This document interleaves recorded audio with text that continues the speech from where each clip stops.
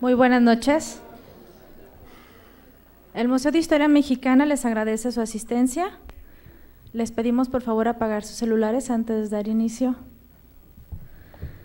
Nos satisface nuevamente compartir con ustedes la presencia del historiador José Manuel Villalpando, quien esta noche nos ofrece la conferencia La Virgen de Guadalupe, una biografía.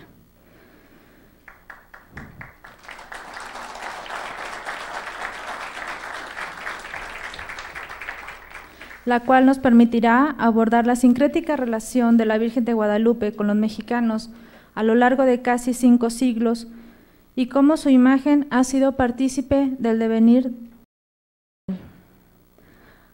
Para iniciar me permitiré presentarles una síntesis del currículum del licenciado José Manuel Villalpando.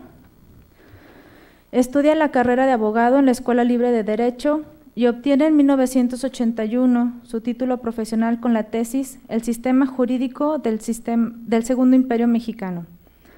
De 1989 a 1998 fue coordinador de investigación histórica de Editorial Clio, empresa dirigida por Enrique Krause.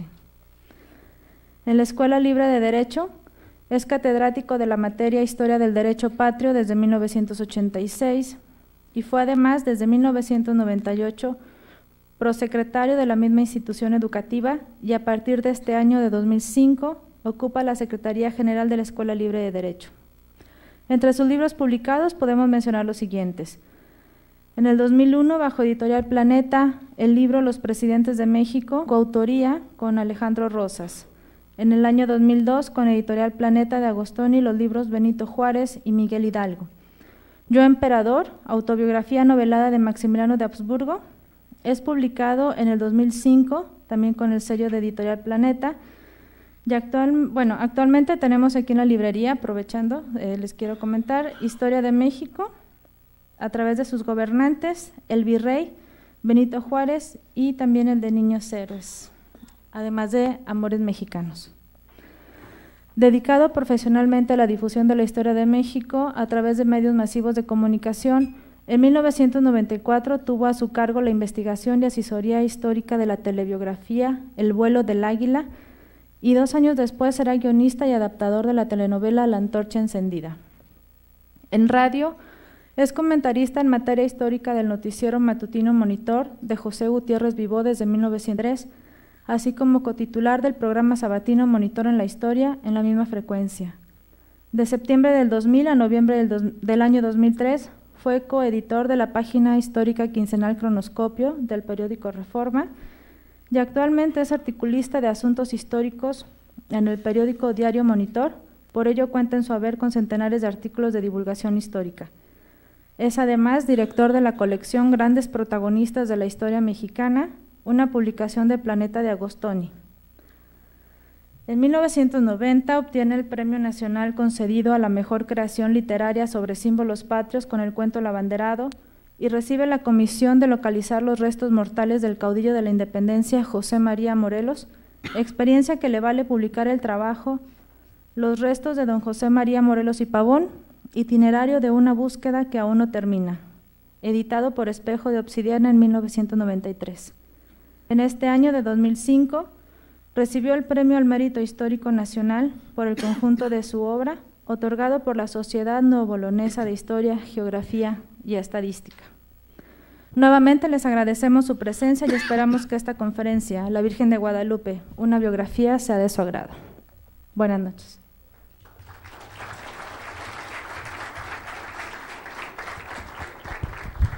Gracias, muy buenas noches. Por supuesto, me siento muy muy complacido por su generosa acogida y regresar nuevamente a Monterrey después de hace 15 días. Ya, ya extrañaba yo venir a Monterrey.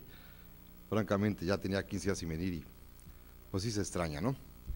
Ya le voy a pedir al museo que me compre un penthouse por aquí cerca. Y venimos ya todas las semanas a trabajar porque esto es maravilloso.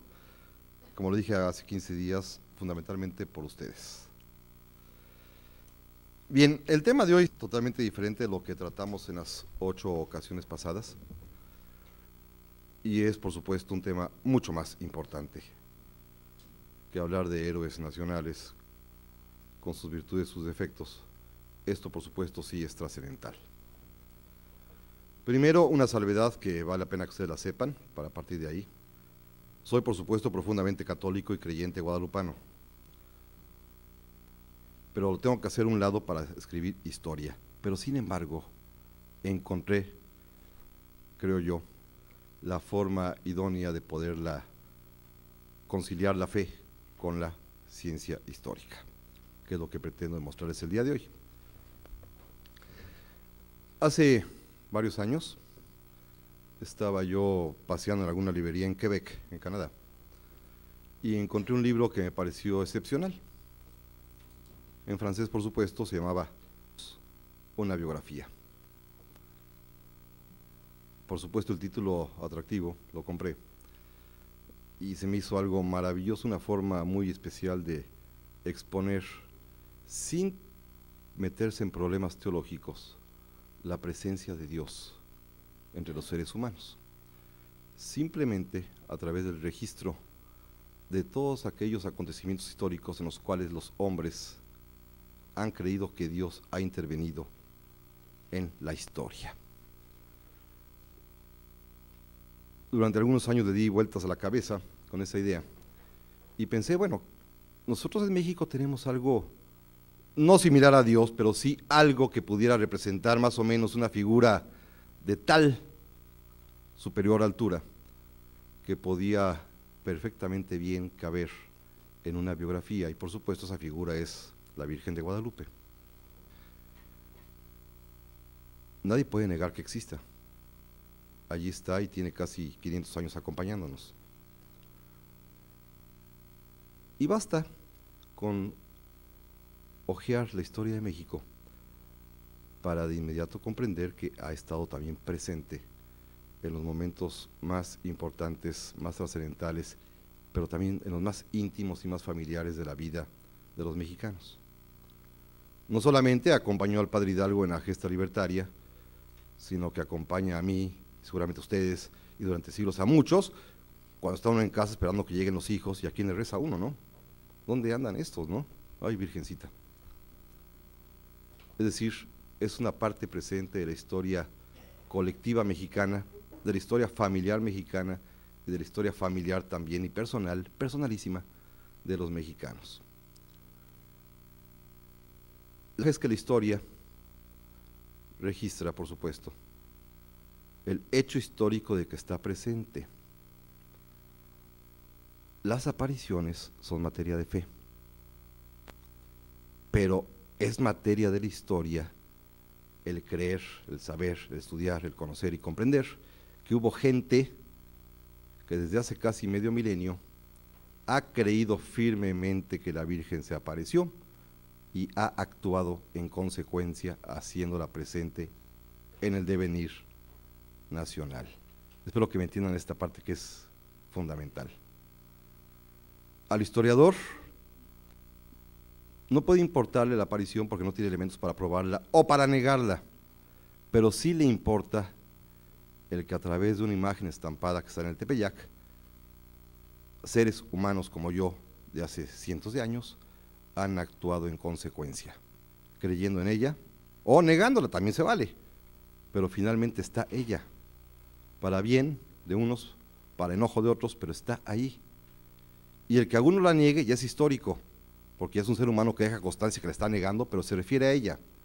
El que alguno la promueva es histórico porque deja constancia que se refiere a ella. Pero a la mayor parte del pueblo mexicano no le importa eso. Le importa saber que está. Y eso es tan importante que si ustedes se fijan en otro tipo de apariciones, en otras culturas o en otras latitudes, La nuestra es muy especial. Les voy a poner dos ejemplos. Si ustedes recuerdan, en España medieval, cuando los moros invaden la península, un noble asturiano famoso, don Pelayo, se refugia en las montañas de Asturias y un buen día, perseguido por los moros, se esconde en una cueva. Aparece algún tiempo después, y lleva a una aldea que se encuentra en el camino una pequeña imagen ¿Qué les dice él? Representa a la Virgen de la Covadonga, que se le aparece, que le encomienda la misión de encabezar la reconquista de la península española en contra del árabe. Y ese solo hecho le vale que ante la legitimidad que la gente le da al milagro, la gente lo cree, se convierta don Pelayo en el fundador y cabeza de la Casa Real Española, que más o menos con sus curvas en forma genealógica rige hasta nuestros días. ¿Para qué sirvió la aparición? Para legitimar el poder. Caso igual sucede, si ustedes recuerdan sus cursos de historia en la primaria, en la cultura islámica. Mahoma es un hombre que anda por ahí y de repente se le aparece un ángel, le dicta el Corán, regresa y la gente cree que efectivamente se le apareció el ángel y que escribió el Corán por un dictado directo de Alá. Legitima que Mahoma se convierta en líder indiscutible, cabeza también de una familia gobernante y que de ahí al poder. Y en nuestro caso, la Virgen no legitima ningún poder. Vamos a otro extremo. Recuerdan ustedes claramente las apariciones modernas de la Virgen María, Fátima y Lourdes, fundamentalmente, y también Medjugorje un poco. En los tres casos los mensajes son apocalípticos.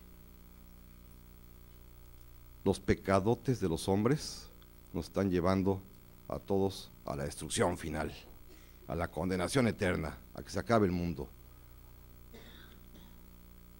La Virgen de Guadalupe no lanzó ningún mensaje apocalíptico.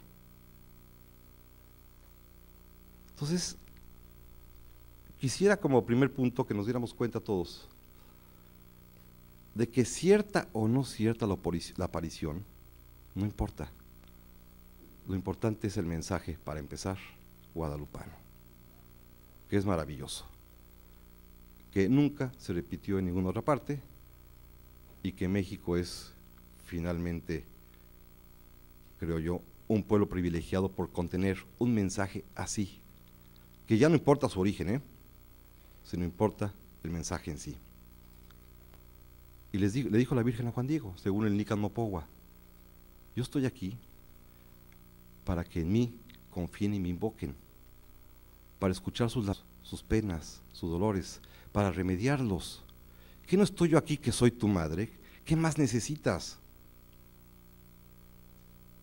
Si no es un mensaje divino, merecería hacerlo, ¿eh?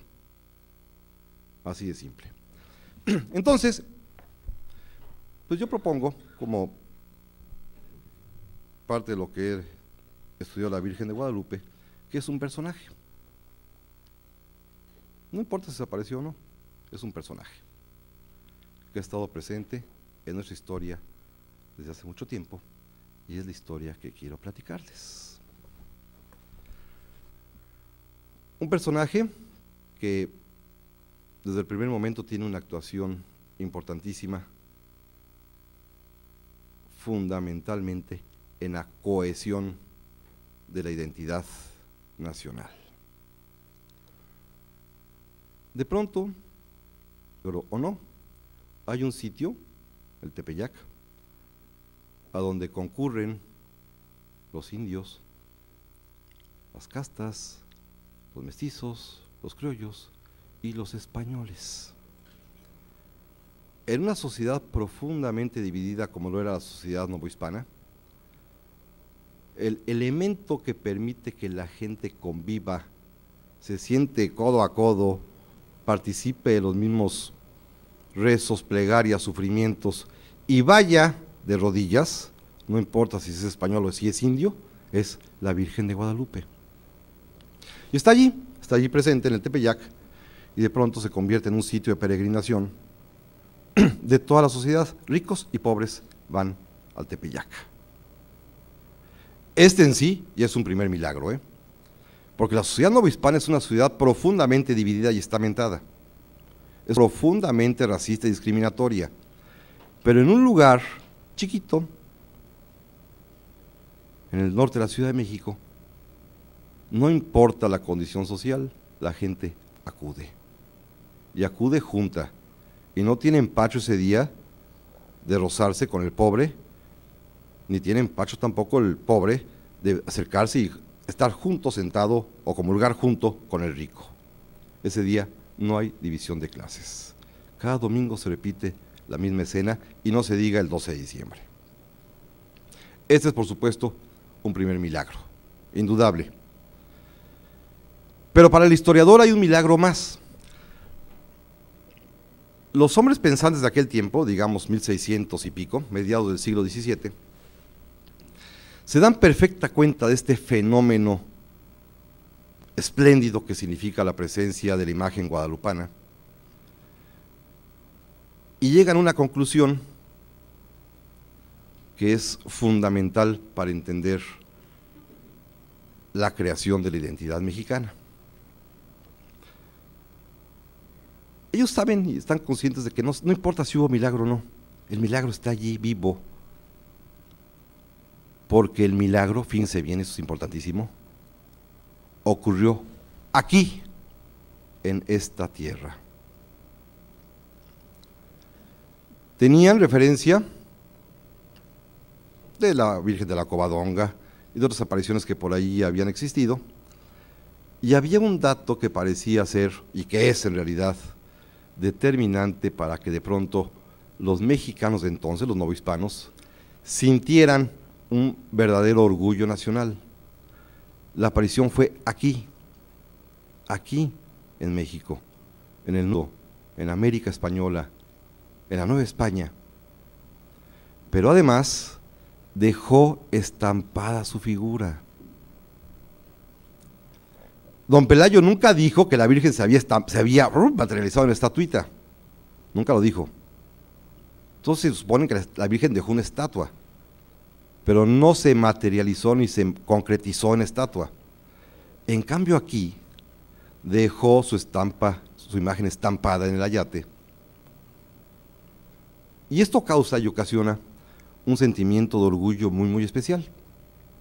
Tan especial que a partir de entonces los novohispanos, encabezados por la jerarquía eclesiástica de su tiempo, van a iniciar una intensísima labor que va a durar casi un siglo ante el Vaticano para pedir el reconocimiento, fíjense bien, no del milagro, sino del culto guadalupano. Un culto, pues, que comienza a extenderse por todo el territorio de la Nueva España y que los no hispanos llevan a Roma. Esto es muy singular, porque por supuesto el Vaticano siempre reacio a cualquier manifestación que parezca prodigio, pues no lo toman mucho en cuenta, pero la insistencia mexicana no hispana es grandísima, hasta que finalmente lograrán llegar con el Papa Benedicto XIV, y en una especie de despliegue de, hoy diríamos, de multimedia, un sacerdote mexicano de aquel tiempo desplegó frente al Papa, como si fuera un nuevo Juan Diego, una pintura del pincel del famoso artista Miguel Cabrera, que representaba a la Virgen de Guadalupe, y cuentan que el Papa quedó tan impresionado que pronuncias palabras que sirvieron y sirven en realidad todavía hoy en día de una especie de manifestación del vicario de Cristo, de la unicidad de México, de la diferencia de México sobre todos los países del mundo. Dijo el Papa, no hizo tal cosa con ninguna otra nación. Estamos en una época en la que ya germinó el sentimiento nacional, es mediados ya del siglo XVIII, pero estamos en una época también en la cual el sentimiento nacional no puede expresarse todavía en términos políticos porque España reprime. Todavía la costa medio verde es para la independencia. Pero ¿cómo mostrarle al mundo que México es importante, pero sobre todo es diferente y superior a España? El gran símbolo de la nacionalidad, pues, será la Virgen de Guadalupe.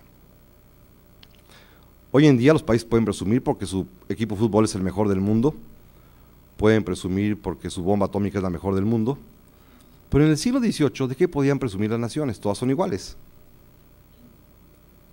Los mexicanos tenían algo de qué presumir.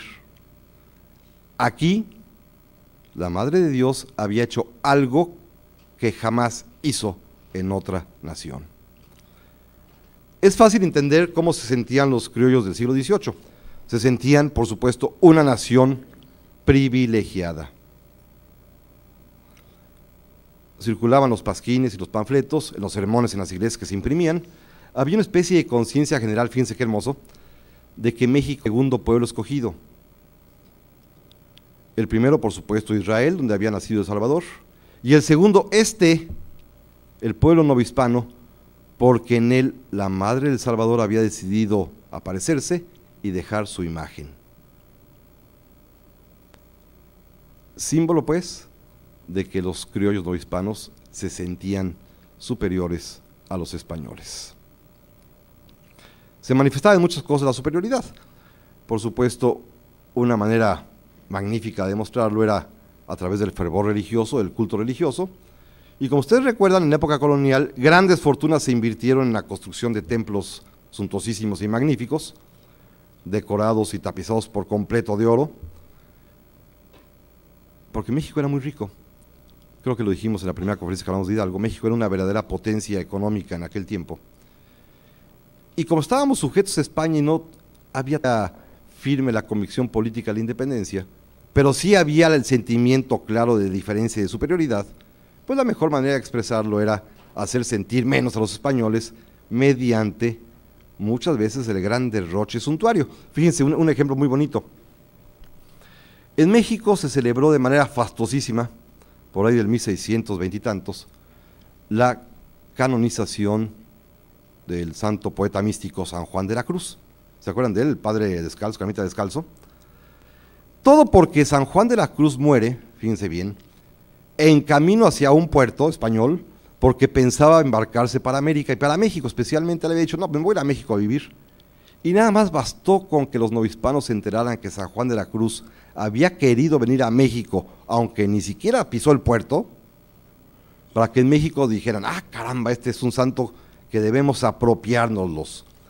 Y entonces se enteró, fue la fiesta de la canonización en Madrid, que había sido así apoteósica, y los criollos novispanos decidieron superarla.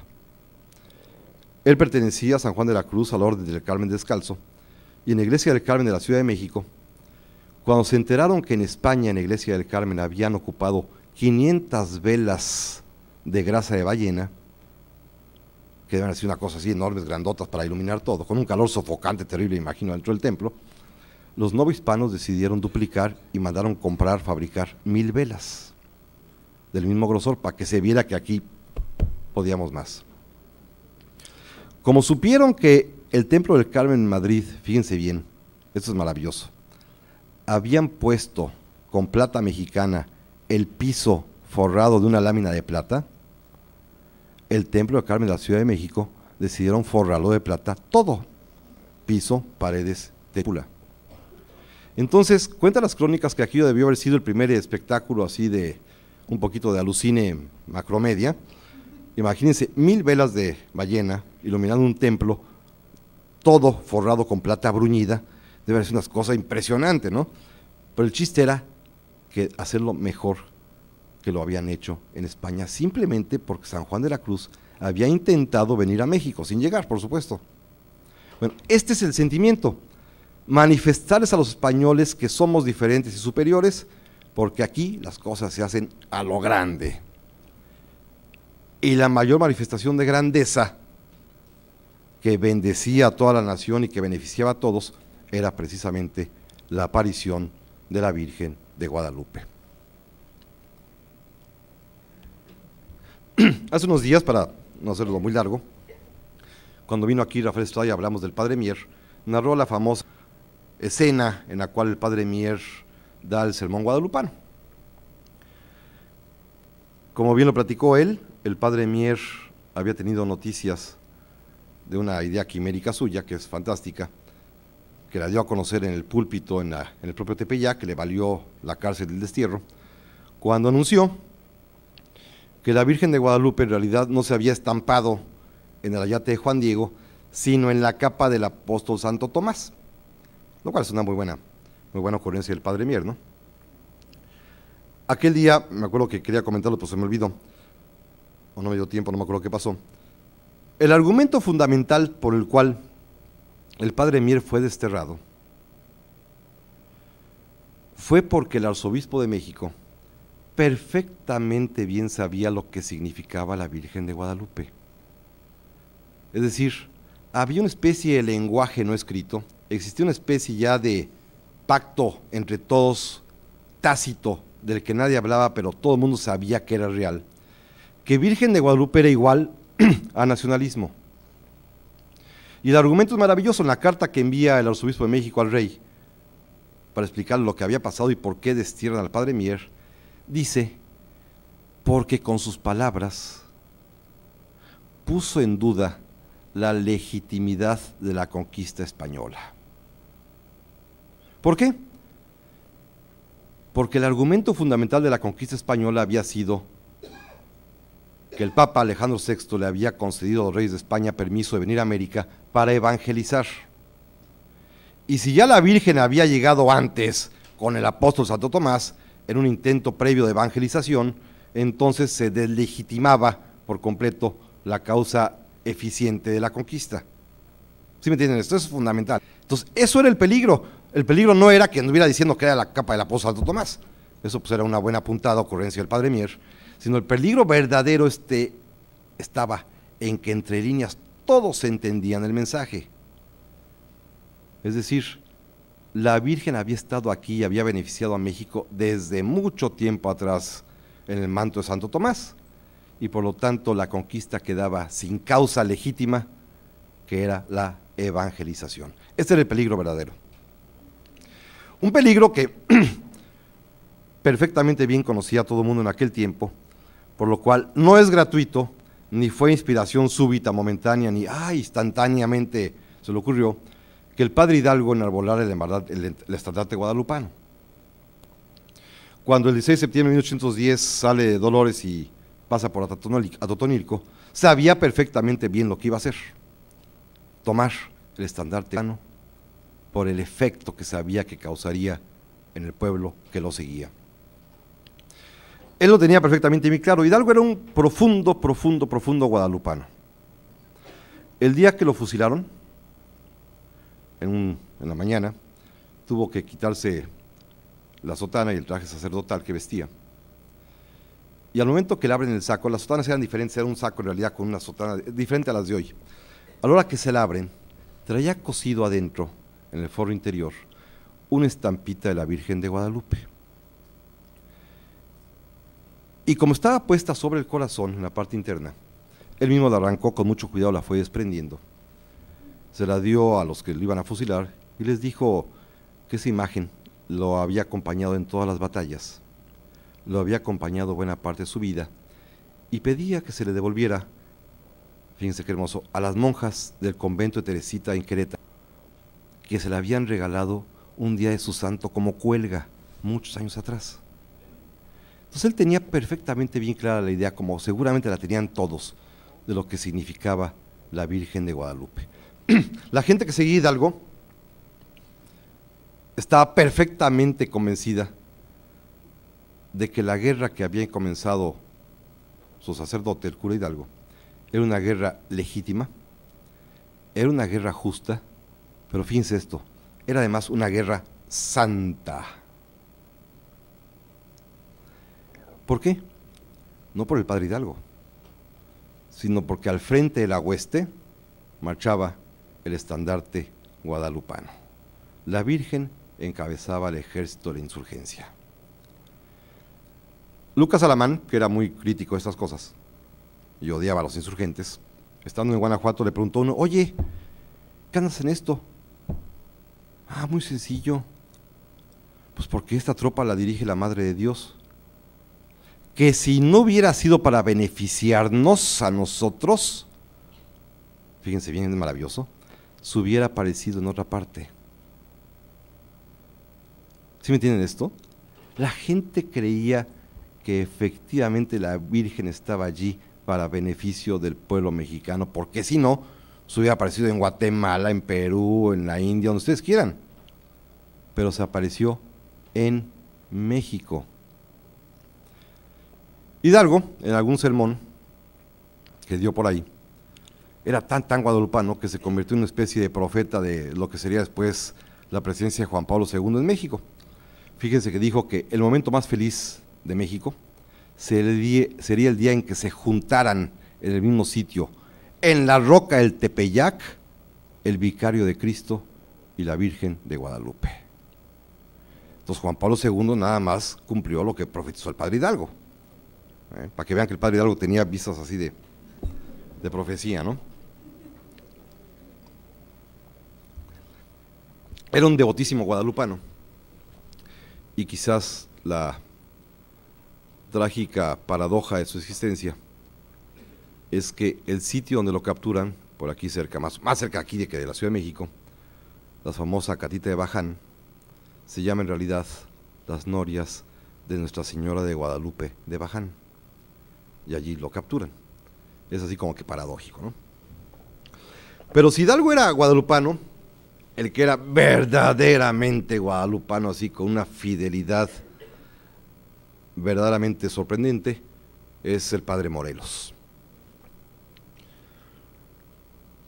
Morelos tiene varias cosas muy peculiares, por ejemplo, el santo, el santo y seña a los insurgentes es Viva Nuestra Señora de Guadalupe. Es la palabra clave. Los que dicen viva el rey, viva Fernando VII, viva el gobierno, viva el virrey, son enemigos. La palabra clave instituida por Hidalgo, por, por Morelos, es viva Nuestra Señora de Guadalupe. Con eso se daban a conocer los centinelas insurgentes y los, los insurgentes entre sí. Morelos, por ejemplo, también obliga a sus soldados a que todos porten en el sombrero o en la solapa o en la tela de la camisa que traigan, de la camisola que traigan, una estampita guadalupana. Cosida, decía él perfectamente bien, para que no se vaya a caer. La primera ciudad que conquista, que es la ciudad de Tecpan, lo primero que hace es cambiar el nombre. Nuestra Señora de Guadalupe de Tecpan, de entrada. Y cuando escriba los sentimientos de la nación, aparte de pedir allí quizás los mayores deseos que un estadista pudo pedir para esta patria que nunca se cumplió, aquello que como, que como la buena ley superior a todo hombre, las que dicta nuestro Congreso tienen que ser tales que obliguen a constancia y patriotismo, moderen la opulencia y la indigencia y de toda suerte alejen la rapiña y el hurto y aumenten el jornal del pobre. Aparte de eso, pidió que se estableciera como día de fiesta nacional el día 12 de diciembre. Cosa fantástica porque la única vez que se repitió en historia, fíjense qué paradójico, la ley federal del trabajo por supuesto ni la pela, ¿no? Pero en cambio, el único que se atrevió a establecer en la ley la fiesta obligatoria del 12 de diciembre como fiesta nacional, don Benito. Otro guadalupano, pues ahorita llegaré para allá. Morelos pues es fundamentalmente guadalupano. Cuando estaban en el sitio de Cuautla, en aquel sitio que dura 72 días, en el cual Calleja tiene rodeado al pequeño ejército de Morelos y Morelos sale triunfador. Era una especie de, sitio muy divertido porque la gente combatía ahí de las 5 a las 11 de la mañana, porque en cuando salía el sol, Cuautla es una cosa, bueno, si aquí es terrible, allá imagínense con humedad es peor todavía. Y entonces todo el mundo dejaba de combatir a las 11 y se la pasaban echándose cañonazos y se aventaban este, porquería y media, y luego mandaban una mula con comida y la regresaban, en fin, era, era muy divertido.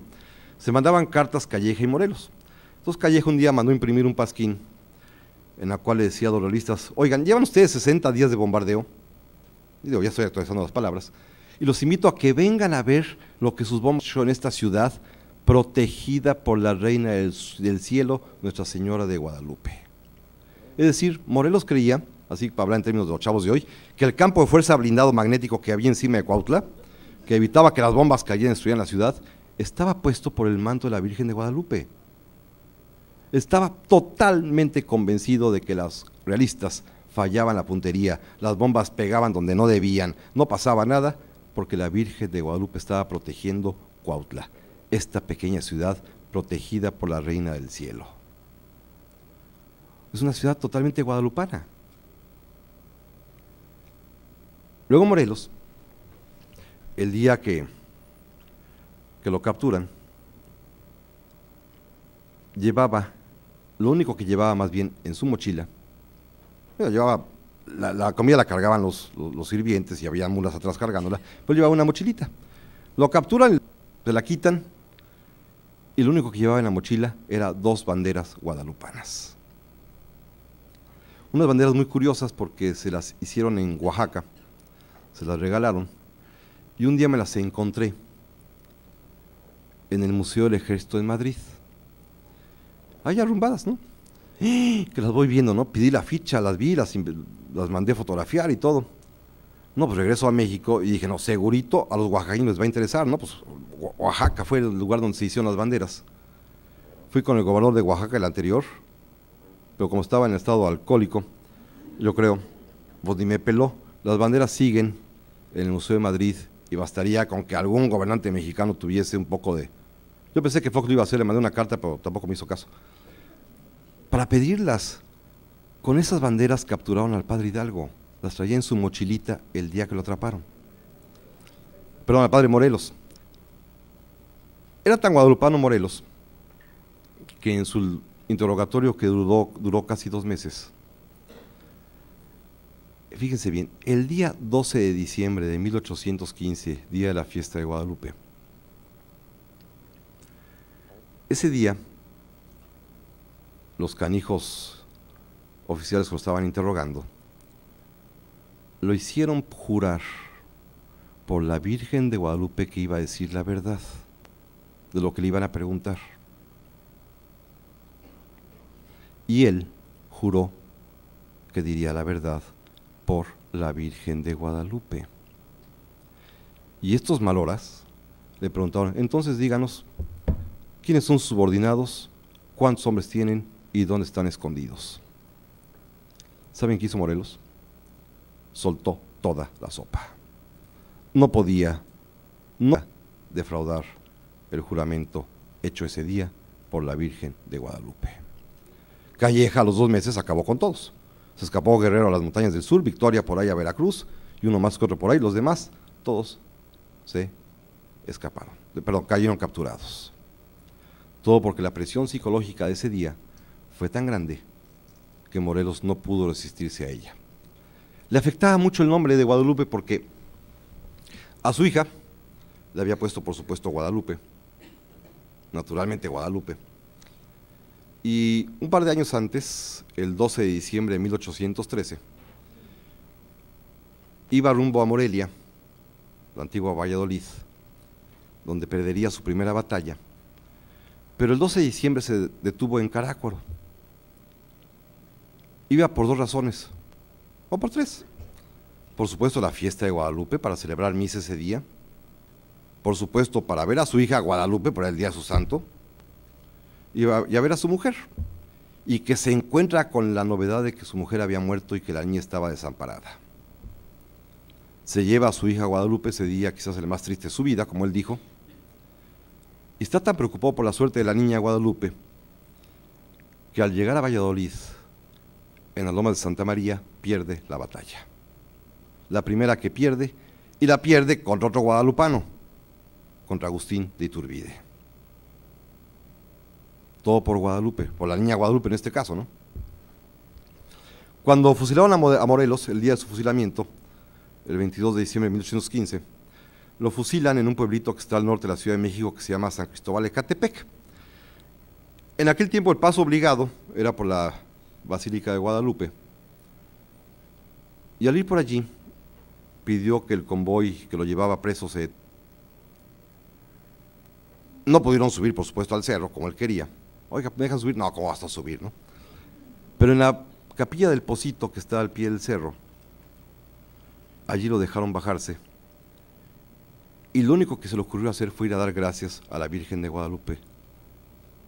Y le dijo a todo el mundo, es que toda mi vida ha sido inspirada por la Virgen de Guadalupe y todos mis éxitos militares en realidad fueron obtenidos por ella. Y ya, se fue a que lo fusilaran.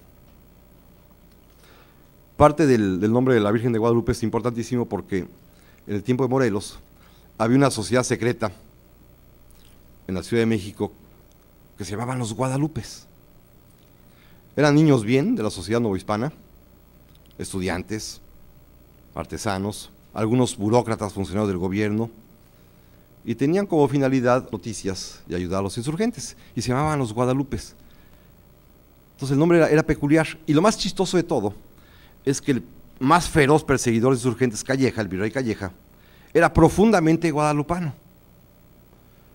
Cuando nació su hijo se murió. Entonces le prometió a la Virgen de Guadalupe que si su siguiente hijo se daba con bien le pondría Guadalupe. Y fue hombre, pues le puso Félix Guadalupe. Faltaba más. Y luego nació una niña y le puso María Guadalupe. Y eso que es española así encarnizado, ¿no? Cuando Calleja se fue al exilio, en sus manos se llevó y colgó en la casa donde vivió en España todo el tiempo una imagen de la Virgen de Guadalupe. Es decir, estaba presente, presente, presente en todas partes. Fíjense que algo bien curioso. Cuando se inicia la guerra de independencia, al virrey, sabedor de que Guadalupe era el estandarte insurgente, se le ocurrió pensar, y con mucha razón, que probablemente los insurgentes desearían asaltar la basílica y llevarse como trofeo la imagen original. Y entonces puso una guarnición en la Basílica de Guadalupe que durante 11 años nadie molestó. Los insurgentes fueron tan respetuosos que decidieron no acercarse a la Virgen de Guadalupe. Por una razón muy sencilla, y si la dañamos, mejor ni moverla, ¿no? Todos la respetaron y no le pasó nada a la imagen. El padre Matamoros, Mariano Matamoros, era un sacerdote muy, muy convencional, muy, muy normal, sin mayores preocupaciones insurgentes, pero un día estaba por ahí en, algún lugar y se encontró una imagen de la Virgen de Guadalupe fusilada, o sea, acribillada. El preguntó, yo, ¿qué pasó aquí? No, pues llegaron los realistas, estaban borrachos, y como querían hacer algo, se metieron a la iglesia, descolgaron la imagen guadalupana y la fusilaron. Y preguntó por qué, porque es el símbolo de los insurgentes. Eso, más otras porquerías que no les platicaré, que hacían los realistas con la Virgen, hicieron que el padre Matamoros decidiera lanzarse a la guerra de independencia. Es tan importante el guadalupanismo en la independencia, que casi casi son hermanos, que se detectó fuera de México. Fíjense que Simón Bolívar, que ustedes conocen, en su famosa carta desde Jamaica, la carta de Kingston, cuando describe todo el proceso emancipatorio de toda la América, le dedica un párrafo muy bonito a México, en el que dice que felizmente los directores de la revuelta mexicana encontraron la imagen de la Virgen de Guadalupe. Es decir, la fama guadalupana llegó hasta Bolívar y Bolívar comprendió que era lo mismo guadalupanismo que independencia, como lo comprendieron también aquí muchos hombres. El caso más interesante que ustedes recuerdan perfectamente bien es esa transfiguración tanto cuanto, yo diría, medio loca, del subordinado de Morelos, Miguel Fernández Félix, que se convierte en Guadalupe Victoria. Es un tipo muy singular, Victoria, porque sepan ustedes que era un niño rico, criollo, acomodado, que había nacido en Durango, de padre minero, que es enviado a la Ciudad de México a estudiar. Allí se vincula con los Guadalupes, la sociedad secreta, y un buen día decide irse a la guerra y busca a Morelos. Pero Guadalupe Victoria es un, es un hombre que tiene profundas personales. Era epiléptico y tenía ataques de histeria muy, muy, muy marcados y que le provocaban o depresiones tremendas o unos arranques de valor impresionantes. En el sitio de Oaxaca, cuando Morelos estaba un poquito ahí duro porque no podía entrar a la ciudad porque los realistas la defendían muy férreamente. En un arranque de, histeria, Victoria se levanta de la trinchera, todavía es Miguel Fernández Félix, toma su espada, la avienta al otro lado del foso realista y grita a sus soldados, va mi espada en prenda, voy por ella. Y se aloca y corre, y todos los soldados se animan, corren tras él, y ching, pues ganó la batalla y conquistó la ciudad. Entonces estaba muy contento Morelos con él, y estaba Victoria en pleno ataque epiléptico. Cuenta que cuando se levantó el ataque epiléptico, le dijo a Morelos, oiga, ¿sabe qué? Ya decidí que me voy a cambiar el nombre. Me voy a llevar, me voy, me voy a llamar Guadalupe Victoria. Y explicó por qué. Guadalupe, Guadalupe porque es el símbolo de la causa y Victoria porque es hacia donde nos lleva la Virgen. Entonces, Guadalupe Victoria. El padre Morelos, que era un hombre profundamente guadalupano, lo tomó muy en serio, pero uno, sus subordinados no, alguno de ellos, Manuel Mieriterán, empezó a burlarse de él, cuenta la mano, que decía, ¿cómo, ¿cómo, que estás a llamar Guadalupe Victoria? Pues, ¿qué te pasa? No, no, sí, me llamo Guadalupe Victoria. Ah, entonces también me voy a cambiar el nombre y me voy a llamar Américo Triunfo. entonces empezó a correrse, pero no. Morelos puso en orden, respetó profundamente el cambio de nombre de Guadalupe Victoria, que se quedó así. Y como ustedes bien saben, qué nombre para el primer presidente de nuestro país, ¿eh? O sea, no cualquiera, ¿no?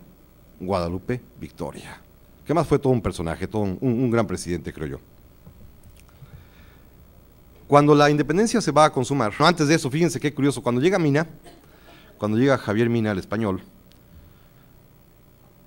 le daba mucha, mucha risa cuando se encontró con los primeros insurgentes, ya en el rumbo del Bajío, de Pedro Moreno, porque sus soldados, los de Mina, venían uniformados, él les compró uniformes en Estados Unidos, venían uniformados, y los insurgentes pues andaban enchamarrados y en trapos, y, pero todos traían su estampita guadalupana. Entonces Mina, que no sabía nada, Decía, oye, ¿esto qué es? Pues la Virgen de Guadalupe. Y cuando lo fusilan, traía su Virgen de Guadalupe.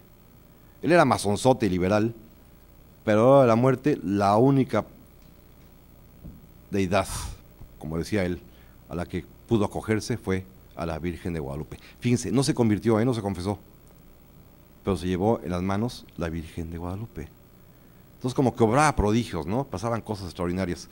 Y Turbide, por supuesto, era profundamente guadalupano. Y naturalmente, cuando consuma la independencia, lanza una proclama muy bonita a los españoles. Les dice, vamos a unirnos, todos estamos juntos. Nada más les pido una cosa, vengan al Tepeyac y pidan perdón y conviértanse en mexicanos. O sea, fantástico, ¿no? O sea, humíllense ante la Virgen y ya, este, después ya bienvenidos, ¿no? Es decir, es una nación profundamente guadalupana que debe su independencia, creo yo, a la Virgen.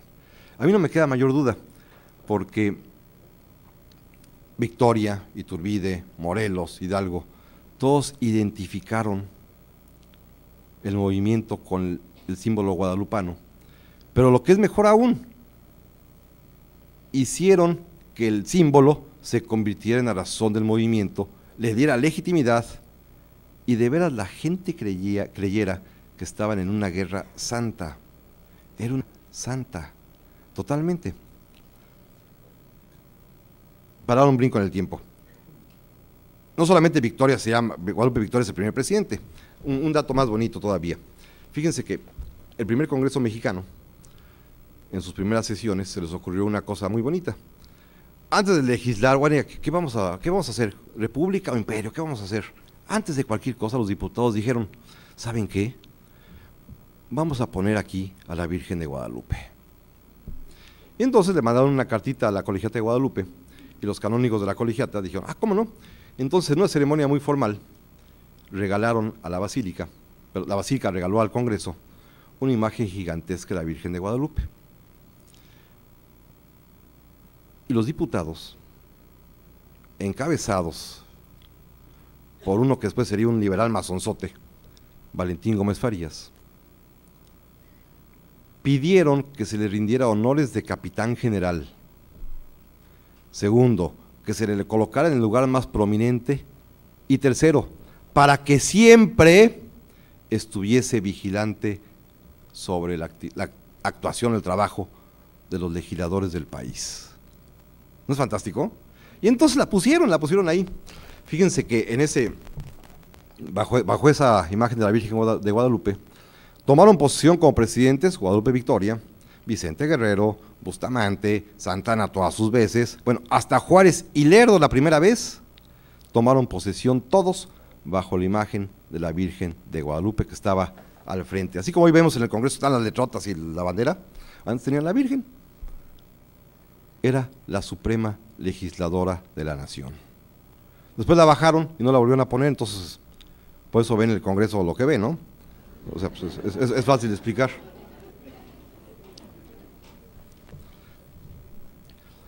La nación es una nación guadalupana, por supuesto. Una cosa curiosa. Un buen día, el gobierno del presidente José Joaquín Herrera, que era muy guadalupano, decidió comprar un barco de guerra. El primero que México compraba nuevecito. Siempre compramos puros cacharros, como hoy en día, ¿no?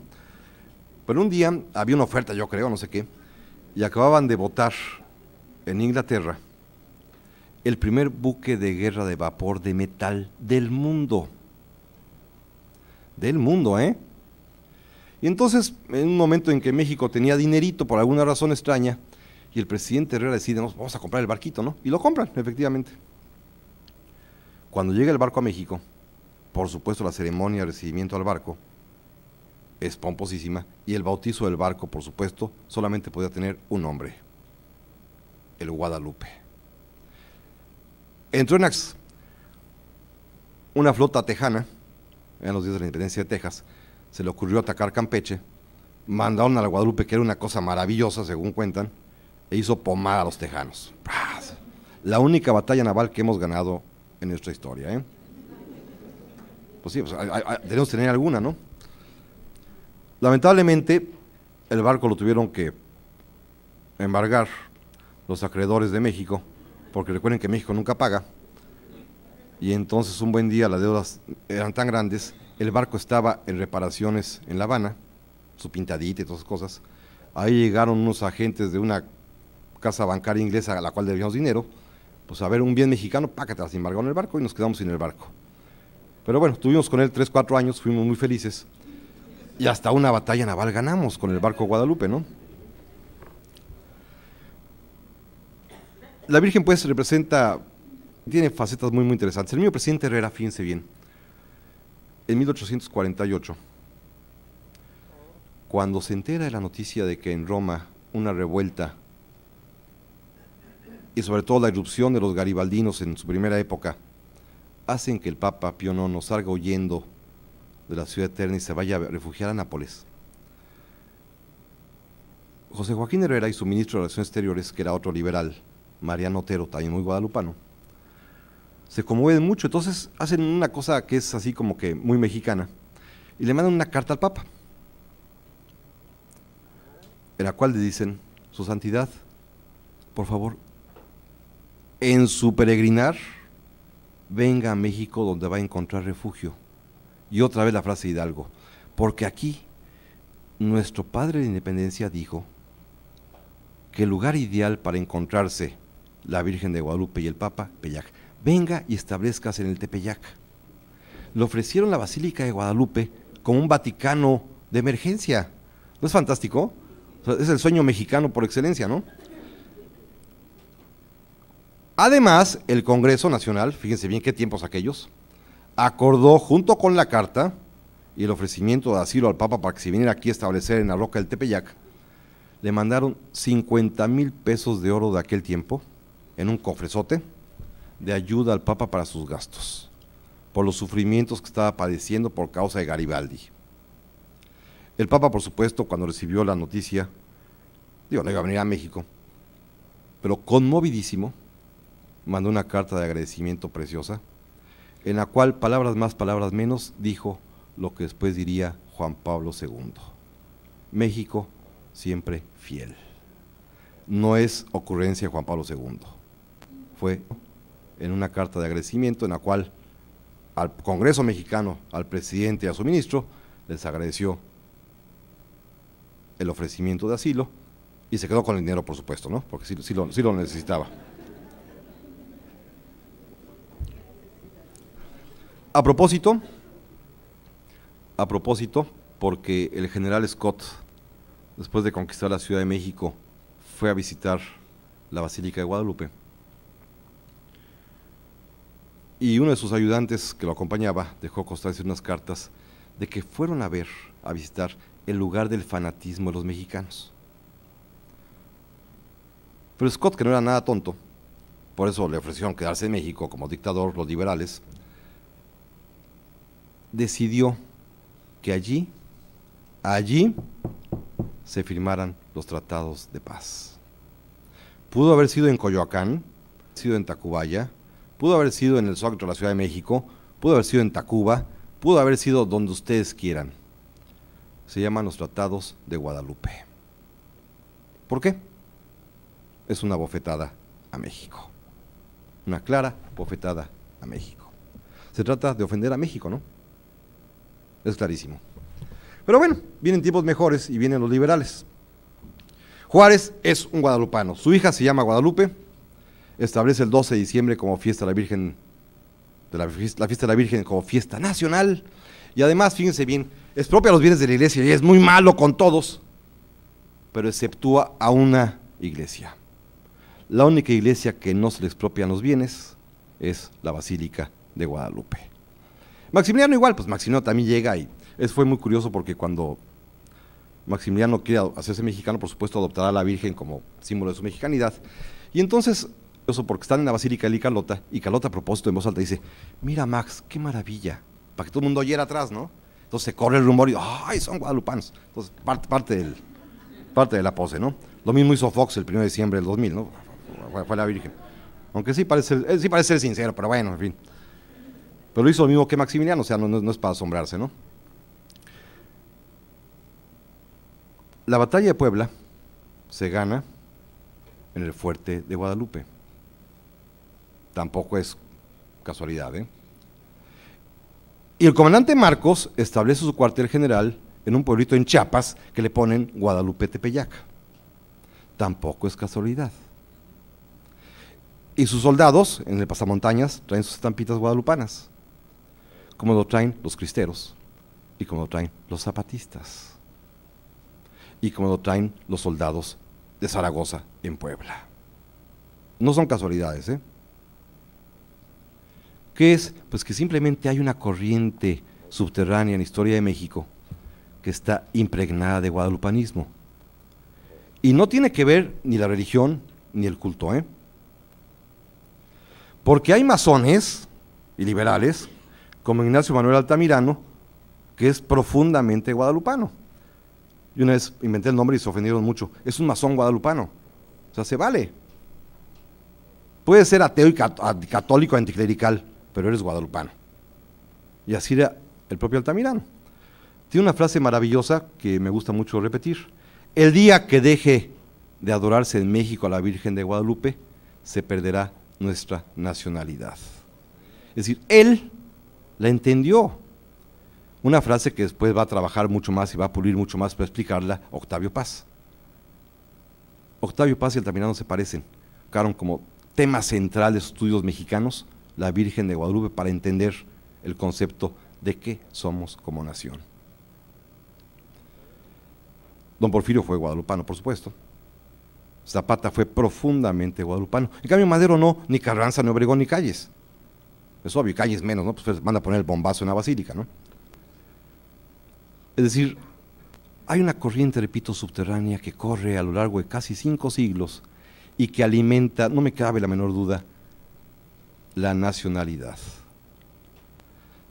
Tan es así que les habrá pasado a ustedes seguramente, quienes hayan tenido oportunidad de viajar al extranjero.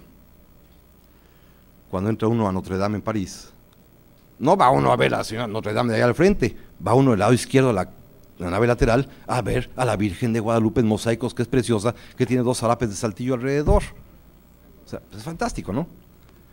Y anda uno por ahí, mezquita de Córdoba en España, y pácate las te encuentras la Virgen de Guadalupe, ¿no? Y en Argentina, en la Catedral de Argentina en Buenos Aires, te encuentras a la Virgen de Guadalupe. Y un amigo mío me trajo una estampita de la Virgen de Guadalupe en la Catedral de, Manila en Filipinas. Es decir, está en todas partes y entonces como que uno mexicano ahí siente que le vibra uno hacia el alma, ¿no? Cuando la ves por allá. Y el, fenómeno es curioso. Rodolfo Usigli, el gran dramaturgo mexicano, escribió una obra fantástica que es un poco irreverente y medio herética, pero que vale la pena leer, que se llama Corona de Luz.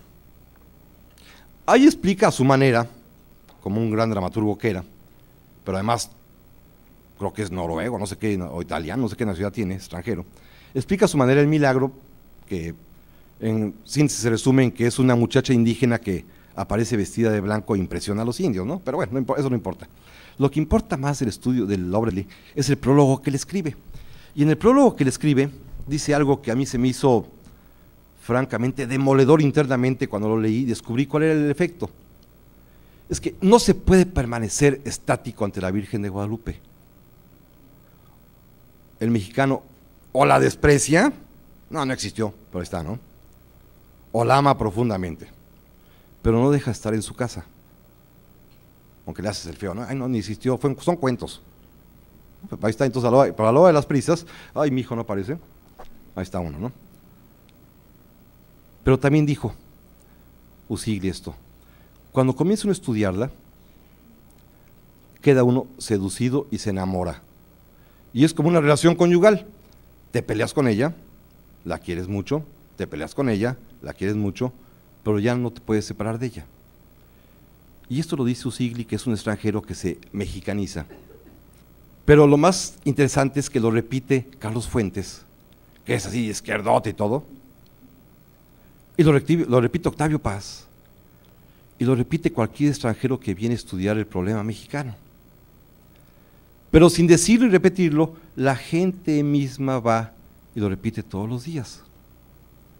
Y es muy simple, porque hay un mensaje muy claro que finalmente es quizás más abajo esa corriente subterránea, la Virgen de Guadalupe, hay una corriente todavía más abajo.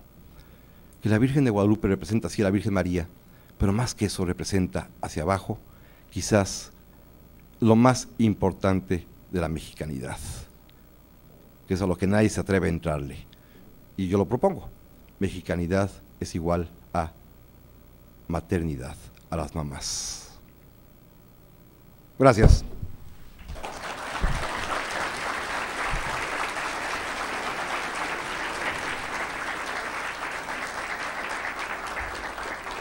Y ahora sí, como siempre, pues a sus órdenes, con todo gusto. Mándeme. Perdón, no escuché. ¿Quién bautizó a la Virgen de Tepeyac? Bueno, ahí hay varias teorías, pero quizás la teoría más, más, más aceptada es primero que la Virgen, en la aparición, según cuenta el Nican Mopogua, que es la, la, la, relación indígena más antigua que se conoce, habló indudablemente en náhuatl. Le escucha a un indio náhuatl Y al comentárselo a los españoles, los españoles cambian las palabras. Hay versiones de que pudo haber sido una palabra en agua tepozcotlupe, que significa algo así como río de lobos, o tepozcolupe, que significa otra cosa, y que los españoles, por una afinidad sonora, pasaron a Guadalupe porque les coincide con su Guadalupe española, que no tiene nada que ver con la nuestra, ¿no? Por una afinidad sonora, así como Guaunagua creció en Cuernavaca, o Huichilopos lo hicieron Churubusco, ¿no? Huichilopos. O sea, ellos entendían y ponían nombres, ¿no? Esto en el caso de la, de la versión, digamos, que, que, da como fuente verídica la aparición. Los escritores muy materialistas dicen, no, no, los españoles imponen un culto dibujado a través de una imagen morena para que los indios se sientan identificados, pero sí le ponen su propio nombre, Guadalupe. Cualquiera de las dos versiones es buena, finalmente se llama Guadalupe. Pero algo interesante, en el monasterio de Guadalupe en España, donde tiene una virgen que no se parece en nada a la nuestra, porque es de bulto, o sea, es de madera, cuando se enteran de la devoción guadalupana aquí en México, sucedió algo verdaderamente cómico. Demandaron el uso ilegal de la marca y enviaron en 1500 ochenta y tantos, a una comisión de frailes jerónimos, que son los que tienen allá el monasterio de Guadalupe, en Cáceres, a pedir, bueno, la parte proporcional de las limosnas de vengadas en el tiempo que estaba la Virgen. Una controversia que tuvo que resolver el rey, gracias a los informes del virrey de México, y finalmente el rey de España, en ese tiempo Felipe II, avala la independencia, digamos, mercadotécnicamente hablando, la marca diferente de la Guadalupe de México. Los de España se quedaron sin la parte de las libones que querían, ¿no? ¿Sí? Mándeme.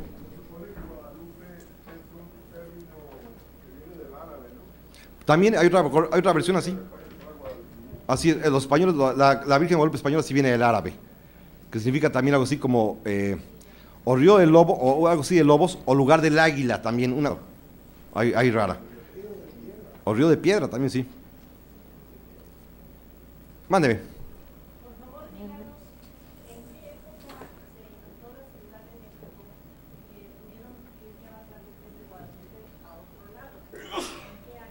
Esto es en el 1620 y tantos, en el siglo XVII.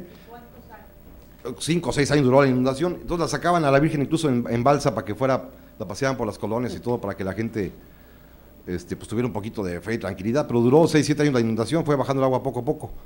Todo en la Ciudad de México, en el centro, si uno, cuando pasen por ahí, pueden encontrar en el Zócalo y en, en Madera, en las principales calles, la marca hasta donde llegó el agua de la inundación. Eso son como dos metros, así sí fue bastante. Y ya fue bajando, tardó muchos años en bajar. Pero sí se inunda cada rato, ¿eh? O sea, no tanto ya, pero seguimos igual, ¿no? Mándeme, señor. Señor, las órdenes. Sí, señor.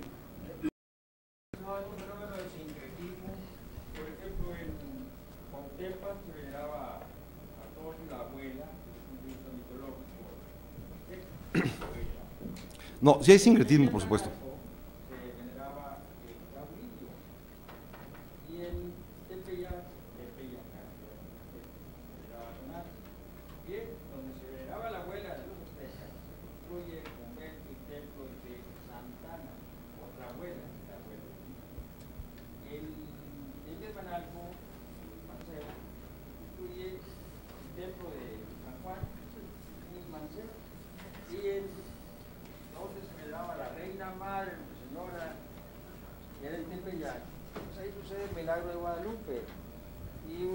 Filosófico, sociológico, etcétera, se, ah, se piensa que sincretismo es quitar esto o otro, pero siguiendo la misma corriente desde el punto de vista sociológico.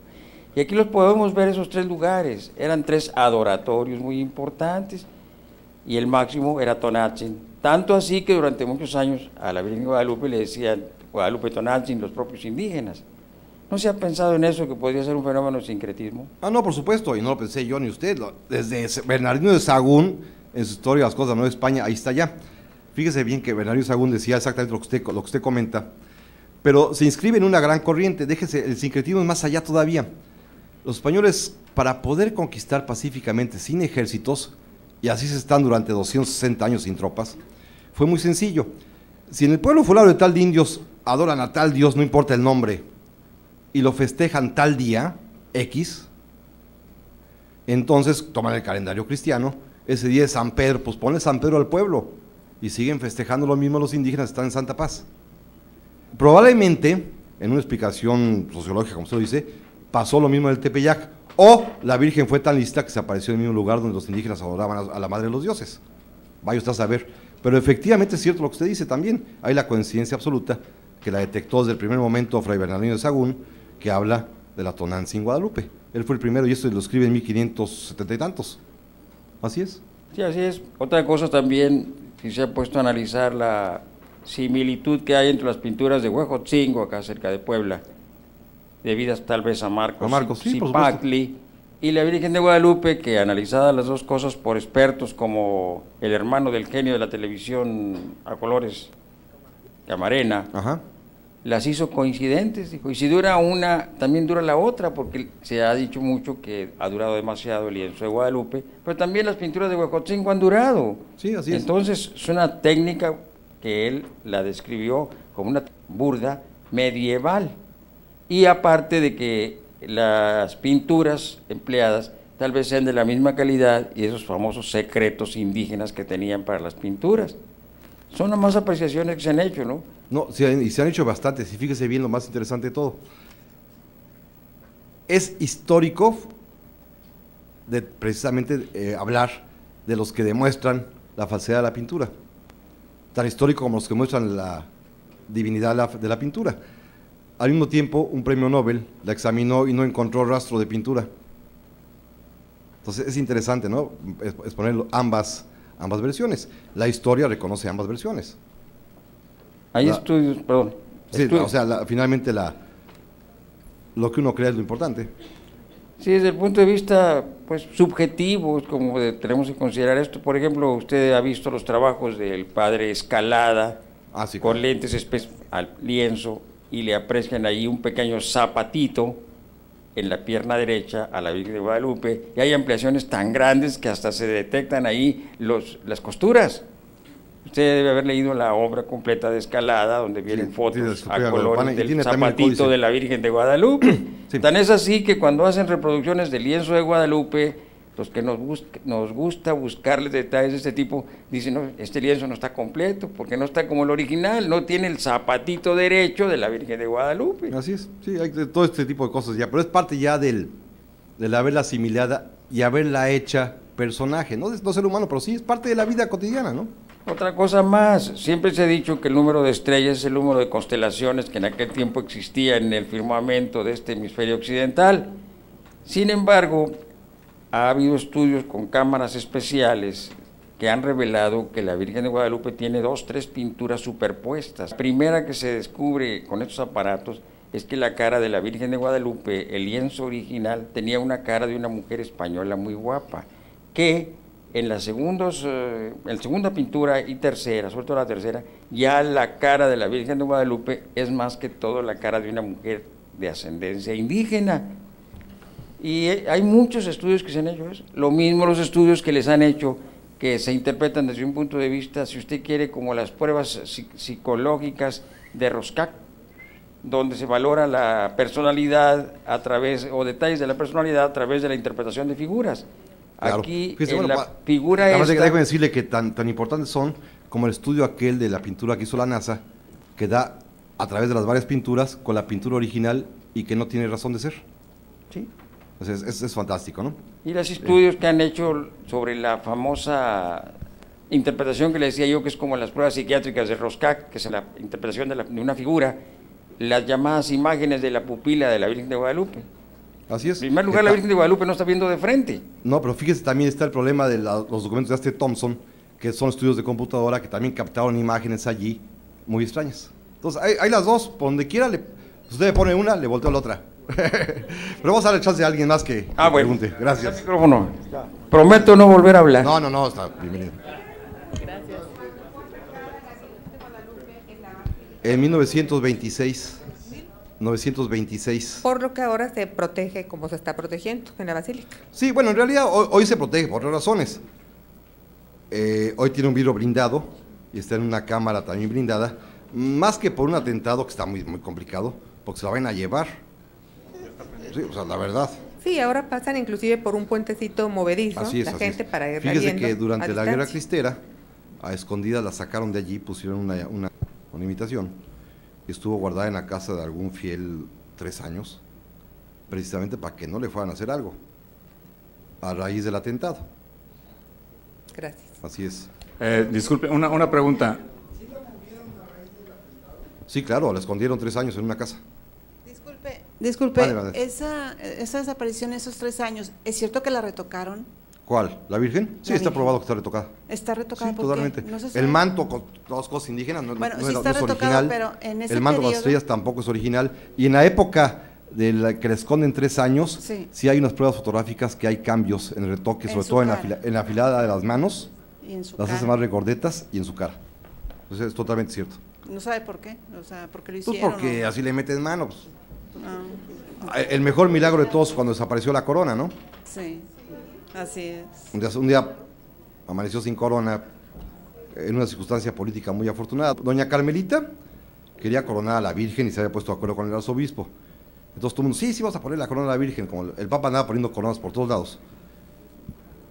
Y entonces hubo una objeción eclesiástica, la Virgen ya tiene corona natural. Pero entonces fue muy curioso porque este, se argumentó en la prensa aquel tiempo que la Virgen, en un arranque de humildad, se había despojado de la corona y había, un día amaneció sin corona. Después se comprobó quién la mandó borrar y todo, ¿no? Inclusive se le está notando que... Ya se le está notando se le está notando que la tiene. Así es, efectivamente. Bien, en, el estado de Tlaxcala, en el, un municipio que se llama Ocotlán, hay una virgen de Ocotlán, no sé si tengo usted el conocimiento. Sí, cómo no. Okay. Pero la historia es muy similar a la de la Virgen de Guadalupe, hasta en el nombre de, de, la persona. Eh, tengo curiosidad, ¿hay alguna eh, correlación? Mire, y tan similar que hasta en el nombre, otro Juan, se encuentra la Virgen de los Remedios. Es decir, son no solamente mexicanas, en todo el mundo pasan estas cosas. Es decir, siempre las historias ya reducidas a su versión más primigenia para poder ser difundidas, se reducen siempre al hallazgo de un inocente, de un hombre que no tiene nada que ver, de un hombre fuera de todo, de, todo tipo de poder, como los niños de Fátima, los niños de Lourdes, este, Bernardita, nuestro Juan Diego, el, Juan, el, Juan, el Juan de Ocotlán, el Juan de Remedios. Es decir, esa es una especie de estereotipo mundial, ¿eh? el encuentro con inocentes. O el encuentro con inocentes. La, pregunta es, ¿no tendría que ver con una forma de crear la versión de, la aparición de, la Virgen en pues diferentes contextos? Visto desde un punto de vista muy material, sí. Repito, lo importante para la historia es que ahí está. ¿Cómo llegó? Pues quién sabe. Madre La que no, no, no, no, no, no, no, la original. San Ángel es muy posterior. No, la original que está en la Plaza del Carmen, en la ciudad de México, en el centro, rumbo hacia la, rumbo hacia, hacia la lagunilla. Así es, decir, más allá de República, el Perú todavía meta, hoy en día sí es como que, ay, pero este, bueno, algún día en tour de varios se puede acercarse uno a plena luz del día. Ahorita aquí, hoy así de noche no, no se lo recomiendo. Mándeme. Antes que otra cosa, muchas gracias por la eh, explicación histórica de la presencia de la Virgen, eso me pareció bien interesante, más que lo de las apariciones en sí mismo. Y la pregunta nada más, eh, ¿cómo llegó el nombre a una colonia francesa en el Caribe, esta isla Guadalupe en el, en el Caribe? Es, algo muy singular. Hay, hay varias teorías. Una, que el nombre de la isla lo ponen unos prisioneros franceses derrotados en la batalla de Bailén en 1808, que fueron dados presos al santuario de Guadalupe. Entonces, como conservaron la vida y bla, bla, bla, regresan a Francia y Napoleón los exilia por traidores y los mandan a esa, a esa isla y ellos le ponen el nombre de Guadalupe. Y la otra, que es, más, es muy mexicana, que yo creo que no es cierto, esa es el original, es que los prisioneros mexicanos que capturan en el sitio de Puebla de 1863 los mandan a Guadalupe y ellos son los que, que la isla se llamaba en realidad Martinica antes o una cosa así, o, la Martinica chica o algo, algo así. Ellos, como son los prisioneros mexicanos, le ponen Guadalupe en honor a la Virgen de Guadalupe por estar invocándose a ella y queda el nombre de Guadalupe. Yo creo que es la primera, o sea, los franceses presos en Guadalupe en Cáceres, allá en Extremadura. Pero bueno cualquiera de las dos, pero sí, la isla se llama Guadalupe, efectivamente. Pero era, era isla de presidio. Mande, señor. Ah, los esvotos. ah, pero, eso, pero eso ya es devoción, ahí yo no lo entro. ah, no, sí, por supuesto, ya es, esa es la manifestación espontánea del pueblo, ¿no? Así es. Mándeme.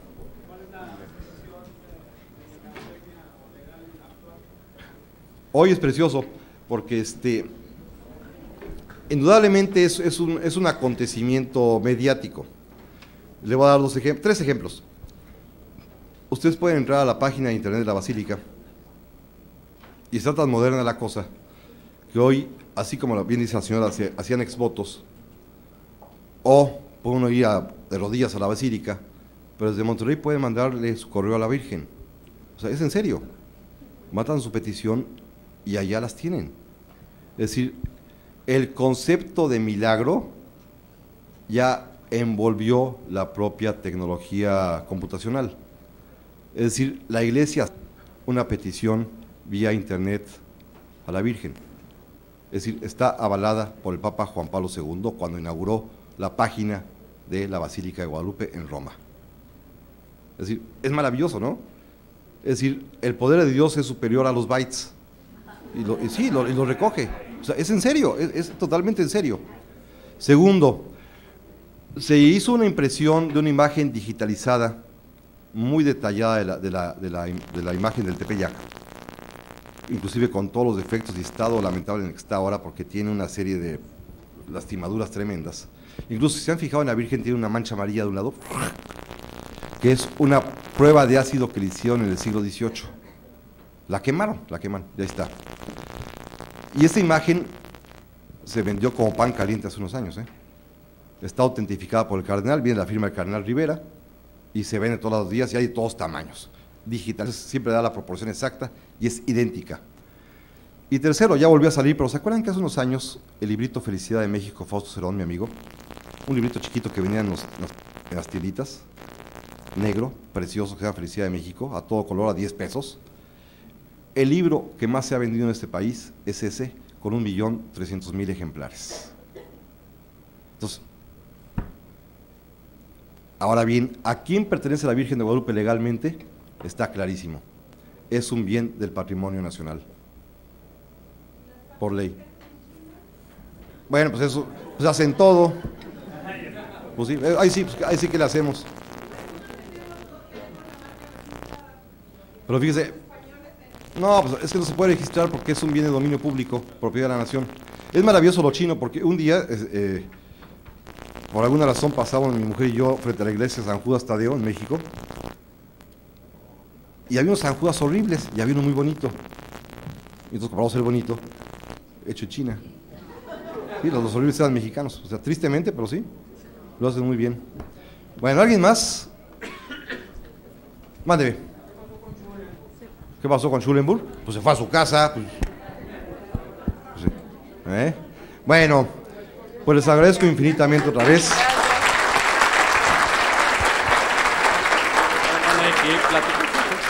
Y muchas gracias. Y ya me prometieron que el año que entra vengo a hablar de Juárez. Sí, yo creo que sí se va a programar. No, no, no, ya para marzo, para el bicentenario de Juárez. ¿Dónde ve? ¿Ah? Sí, gracias. Estoy con el agüita. Hola, vas Gracias, mi amor. ¿Tu nombre cuál es?